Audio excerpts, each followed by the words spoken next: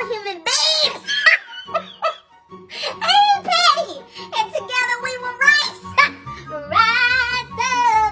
I want my firstborn child to be a male child.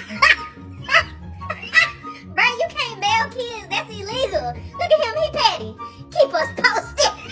Postmark. I hate grapes. They disgust me.